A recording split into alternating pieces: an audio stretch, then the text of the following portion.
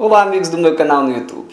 Neste vídeo eu vou apresentar uma resolução para um sistema linear que é apresentado na forma matricial. Esse sistema linear não tirei assim do acaso não. Esse sistema linear aparece na resolução da questão 11 do, de matemática do ITA 2014. Então o próximo vídeo é com a resolução dessa questão.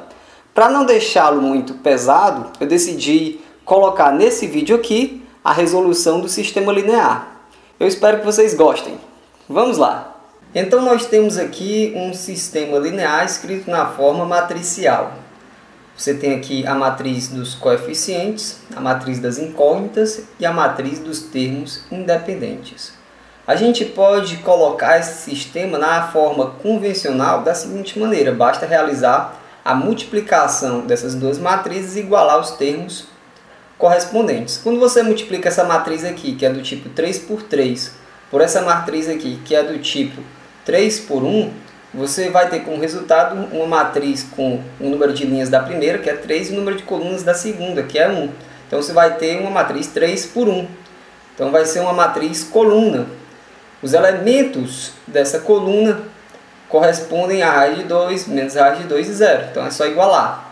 Em outras palavras, vamos determinar o primeiro elemento, fazendo a multiplicação desses caras aqui por esses, somando e igualando a raiz de 2. Como é que fica? Fica assim.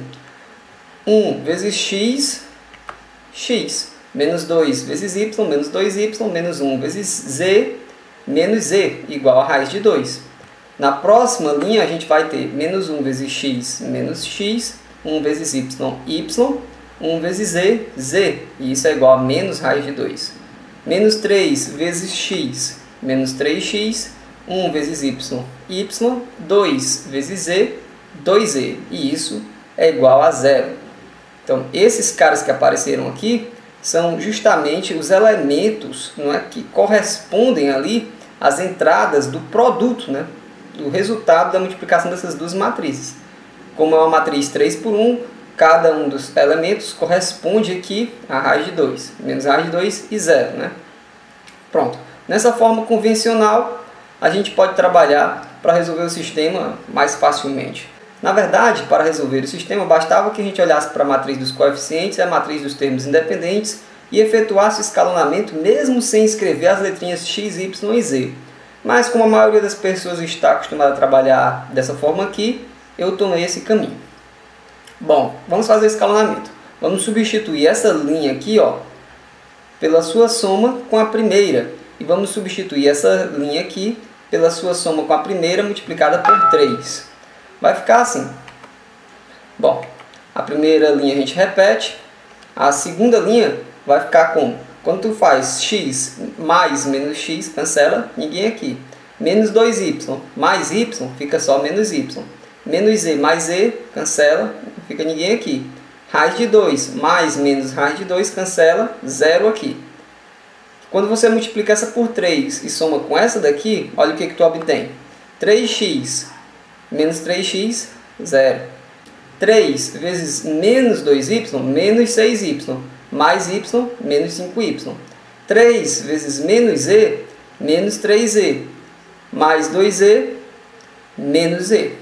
3 vezes raiz de 2, 3 raiz de 2, mais 0, 3 raiz de 2. Observe que daqui a gente pode concluir dessa segunda linha que o y é zero. Se menos y é zero, é porque o y é zero. Se o y é zero, então você joga aqui, ó, sobra só o quê? Menos z igual a 3 raiz de 2. Então, multiplicando por menos 1 de um lado e do outro, z igual a menos 3 raiz de 2. E nessa primeira linha aqui, ó, como o y é zero, fica só x menos z igual a raiz de 2.